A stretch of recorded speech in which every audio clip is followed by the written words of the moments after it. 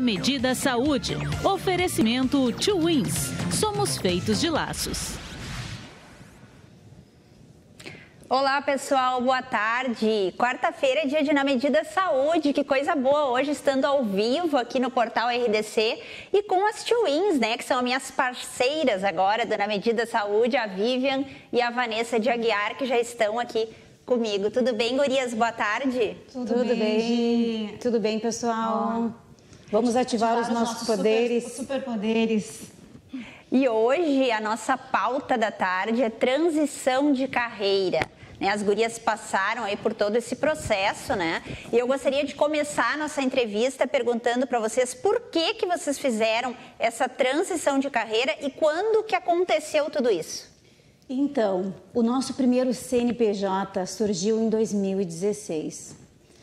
E sempre tudo muito pensado, é, sempre buscando profissionais que pudessem nos ajudar na questão da escolha, da marca, do branding. Esse era o nosso branding. branding. Nós nos vestíamos assim.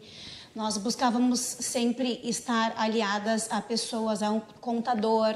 A nossa empresa foi registrada, então a gente sempre que as pessoas nos perguntam sobre uh, empreender, sobre abrir um negócio, tem que ser olhado esse lado, essa parte estratégica, essa parte tem que ser pensada. E nós, as Twins, por mais que fôssemos só nós duas, a gente sempre teve esse cuidado. Então, a nossa empresa Twins Inteligência Imobiliária, ela aconteceu de 2016 até 2021. Mas a transição de carreira, ela aconteceu, ela foi acontecendo, acontecendo, aos pouquinhos. E a gente sempre diz isso para as pessoas, e você que está nos assistindo, a transição de carreira, ela não acontece da noite para o dia. A gente começou a repensar o nosso trabalho em 2019. Nós sempre fomos muito, muito inquietas. inquietas. E em 2019, com o feedback das pessoas, com as redes sociais, foi que surgiu a segunda empresa. empresa e é claro, né, a gente é, costuma dizer para as pessoas, dá medo, óbvio que dá. Ainda mais quando a gente resolve empreender, como foi o nosso caso, numa área em que nós não tínhamos conhecimento, numa área em que não tinha pessoas na família que tratavam sobre o assunto. Então fica, claro que fica mais difícil, mas não é impossível. E um outro ponto, Vanessa, não tenha medo de empreender na idade que você está. Nós estávamos quase nos 40 anos e nem por isso nós nos sentimos impedidas.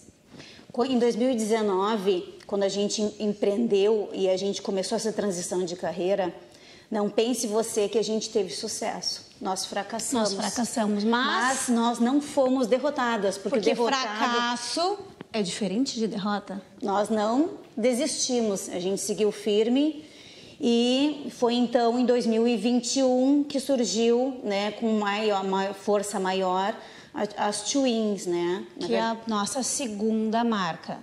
E um outro ponto, mana, que eu gostaria de reforçar para as pessoas que, principalmente agora, numa época pandêmica, que a gente ouve muito falar, repensando o trabalho, se são como é o teu trabalho, como está o teu trabalho, as pessoas insatisfeitas, tristes, desapontadas, né? Que as pessoas busquem locais, pessoas, mentores, líderes. E foi né? o que nós fizemos, né?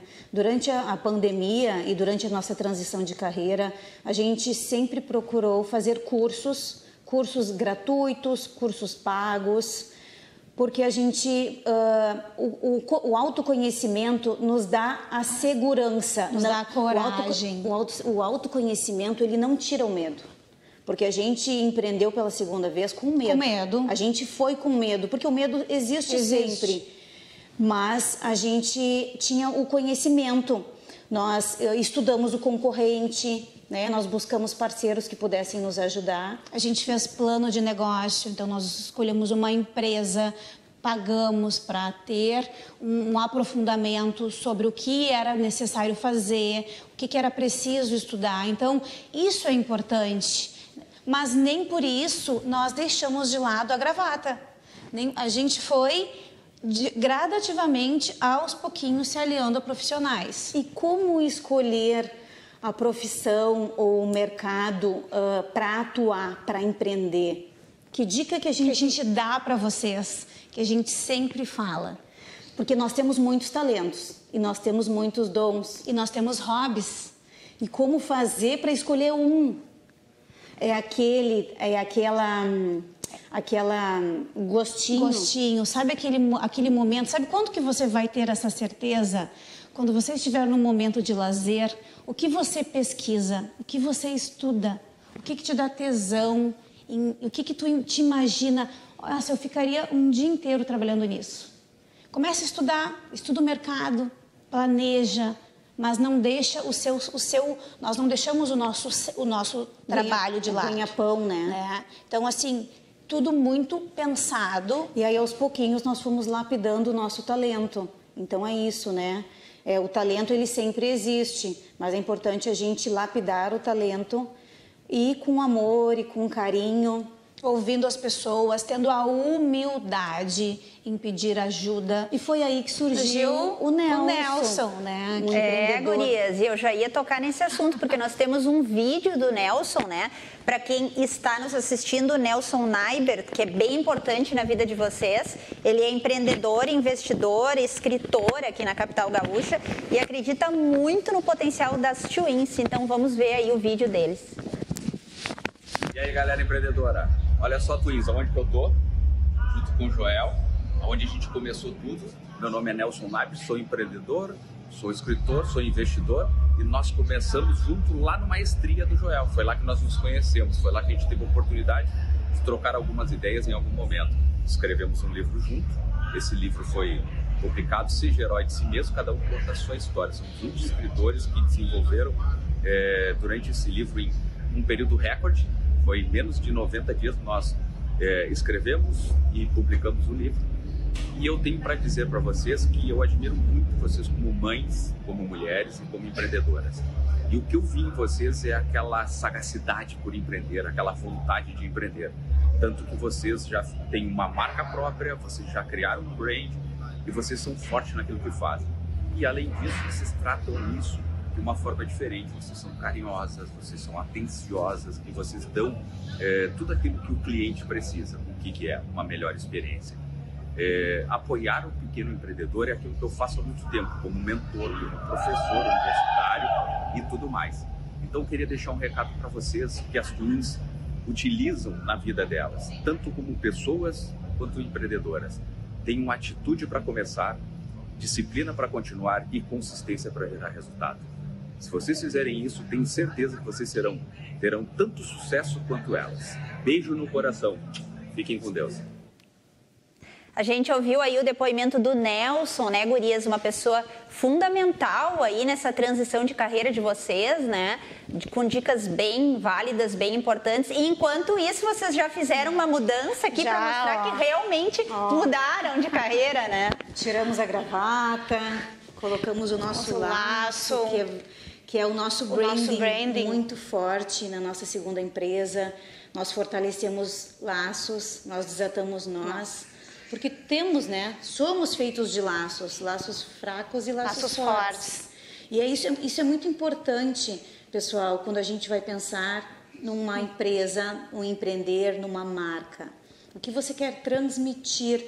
Nós estávamos de gravata, nós transmitimos para vocês seriedade, né? Então esse cuidado, porque a gente se vende o tempo inteiro. E ainda mais quando tu é a cara do teu negócio. Então, esse cuidado a gente sempre teve, a gente sempre orienta quem nos pergunta, porque é importante. Se a gente já trilhou esse caminho, por que não ajudar você que também gostaria de mudar, que tem vontade de mudar? Então, né, a gente fica muito feliz em poder estar dividindo, compartilhando com vocês essa trajetória que teve fracasso, mas nunca derrota, porque a gente nunca desistiu. A gente está vendo as fotos das twins ali, né, gurias? Enquanto isso, eu questiono vocês assim, é difícil fazer esse planejamento de carreira? É difícil, mas não impossível. Por isso, nós buscamos profissionais é, de várias empresas, uh, profissionais autônomos, profissionais é, CNPJ, que nos auxiliaram, porque uma coisa é tu ter um sonho E a outra coisa é o teu sonho ser possível. E a outra coisa é as pessoas comprarem o teu sonho, comprarem a tua ideia. Sempre cuidando da tua essência. Porque hoje, Gi, é, se a gente for olhar as profissões e o que o mercado oferece, as coisas elas se repetem. Qual é a diferença de um empreendedor, de um empresário, de uma loja? É a essência. É o que cada um. Eu chego a me arrepiar. É o brilho no olhar. É o atendimento com carinho, com cuidado. O cliente volta, o cliente te procura, porque ele sabe quem é a Vivian, quem é a Vanessa. É o teu talento transformado em paixão. É o teu talento lapidado e transformado em paixão. E é por isso que a gente acorda todos os dias tão cedo, né? Porque a gente ama o que a gente faz. Gurias, e para complementar tudo isso aí que foi falado, né? Eh, eu convidei aí para entrar de forma online a Angélica Dalla Rosa, ela é que é coach de carreira, é parceira aí nossa Dona Medida, e ela sempre vem com dicas preciosas aí para quem está pensando em mudar a sua trajetória, né? Uh, gostaria de ver até se ela já está na live com a gente. Oi, Angélica. Olá, boa, boa tarde, tarde, tudo, tudo bem? bem? Tudo certo, e vocês, como estão? Tudo bem. Angélica, que dicas tu daria aí para quem está nos assistindo e quer fazer aí a sua transição de carreira? É difícil, não é? Tem que ter todo um planejamento, como é que funciona isso? Muito bom, a gente estava escutando as meninas aqui, como vai fazendo sentido porque é muito bom você ouvir quem fez na prática, quem realmente passou por uma transição de carreira. E eu vou conectar muito do que elas trouxeram com o método, como que a gente pode fazer essa mudança. E o primeiro ponto foi um ponto que elas já citaram, que é esse autoconhecimento. A gente precisa olhar para a gente e entender quais são os meus pontos fortes, no que, que eu sou muito boa, no que, que eu sou incrível, quais são os meus talentos, o que, que eu já faço bem, o que, que eu já faço tão naturalmente que às vezes eu nem percebo que é um talento. Às vezes as pessoas acham que talento é algo, nossa, algo muito de outro mundo, algo que vai me causar um impacto gigante. Às vezes é algo simples. É eu conseguir ajudar outra pessoa dando conselhos, é eu conseguir fazer uma planilha de Excel de um jeito que só eu consigo, não sei, mas cada um de nós tem talentos a gente precisa olhar pra gente, entender quais são esses talentos, porque aí a gente vai começar a ter pistas de qual que pode ser o nosso caminho, o caminho que vai nos fazer acordar cedo, o caminho que vai nos fazer realmente ter essa realização. Então, eu começaria sem dúvidas nenhuma pelo autoconhecimento. E ainda dá tempo, né, Angélica? Não é porque a gente está aí na metade do ano que as pessoas podem se intimidar e já querer fazer o seu planejamento para o ano que vem, né? Dá todo para fazer um planejamento ainda dá tempo. Com certeza, com certeza. Eu sempre digo que sempre há tempo, sempre há tempo. Então, se alguém está assistindo ou depois vai assistir e pensar, nossa, eu gostaria de fazer uma mudança como as meninas fizeram, eu gostaria de também acordar com mais motivação, porque hoje é muito comum as pessoas não gostarem do seu trabalho, né, Gi? Não gostarem do que fazem, mas também não fazerem nenhum movimento para mudar. Acabar ficando em uma popularmente chamada de zona de conforto, mas que não é nada confortável, porque você está em um ambiente que você não gostaria.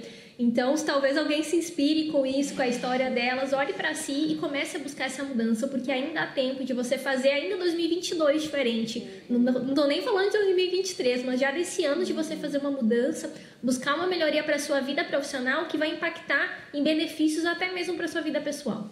Angélica, muito obrigada pela tua participação aqui no Na Medida Saúde. Com certeza aí tu vai voltar em outras oportunidades para dar mais dicas pra gente. Sucesso para ti aí na tua nova cidade. Ah, muito obrigada, sempre um prazer. E gurias, o que, que vocês vão deixar para os telespectadores? O que, que vem aí no próximo Na Medida Saúde? Então, nós gostaríamos de fazer um convite, um convite. para a próxima quarta-feira. Não deixe de estar aqui conosco, nós estaremos trazendo para vocês dicas, dicas de organização de rotina. Como fazer para organizar a rotina? Empreender, ser mãe, ser psicóloga, fazer exercício, dá para fazer tudo, tudo isso. isso. Ser mentora, mentorar grupos, dá, dá para fazer tudo, mas a gente precisa de organização. organização. Então fique ligado na próxima quarta-feira que estaremos aqui. Dicas práticas, simples, ó, rápidas. Então fiquem ligadinhos, né, pessoal? E amanhã não esqueçam que tem na medida beleza no finalzinho do programa pode chegar. Até mais. Na medida saúde, oferecimento Two Wins. Somos feitos de laços.